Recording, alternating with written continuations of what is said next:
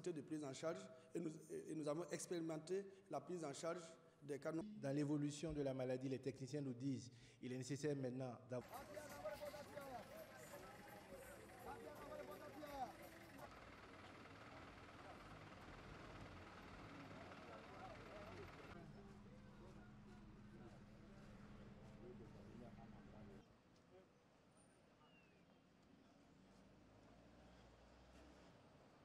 In other countries, we have seen how the virus actually accelerates at, uh, after a certain tipping, tipping point.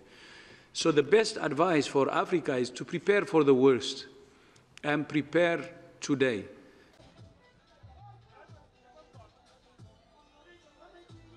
The virus has affected uh, business globally. Uh, here in Kenya, it has affected business. As you can see, our streets, uh, things are not running as normal.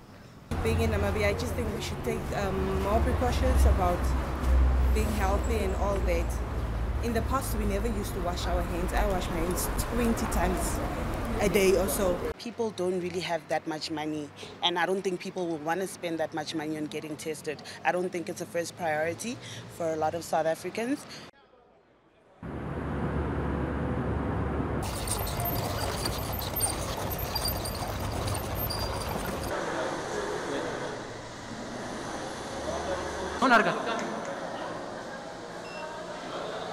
À partir de la sixième année jusqu'à la troisième. C'est ça. Voilà.